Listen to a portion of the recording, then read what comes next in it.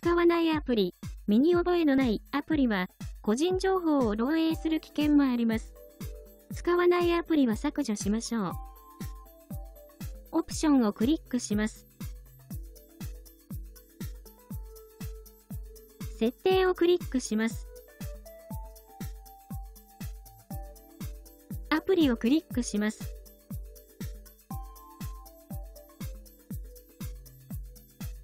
使用していないアプリの編集をクリックします。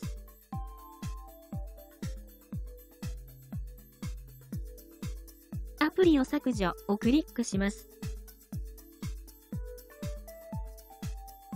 削除をクリックします。